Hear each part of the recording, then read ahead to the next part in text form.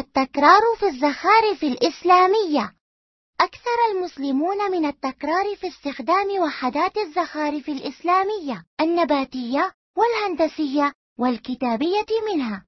وقد أسهم هذا التكرار في مساعدة الفنان المسلم على إيجاد حل لمشكلة الفراغ في التصاميم المختلفة. يمكن ملاحظة مثل هذا التكرار في التحف والعمائر الإسلامية المختلفة. سواء كانت خشبية أو معدنية أو نسيجا.